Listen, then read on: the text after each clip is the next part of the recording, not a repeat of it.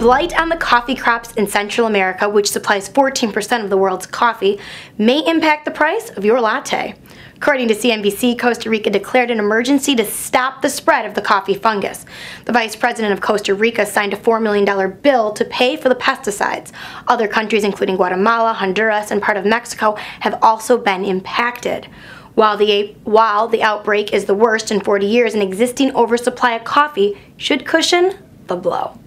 According to CNBC, hiring showed modest gains in 2012 with non-farm payroll employment increasing 155,000 in December, up from the monthly average of 153,000. Manufacturing and services were among the sectors that experienced increased employment. Metals manufacturing, industrial machine manufacturing, and machine shops experienced sales growth of 15%. Employment services firms and computers design firms grew at 21 and 15% respectively. Construction added 30,000 jobs.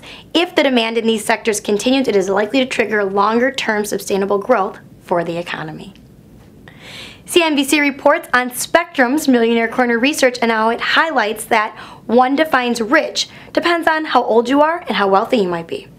Most investors believe that wealth means greater security, and far behind that belief, some believe that being rich means greater happiness. Older investors were more likely to believe that rich meant security, while younger investors believed wealth meant happiness. Reporting from Millionaire Corner, I'm Heather Kiley. Thanks for watching.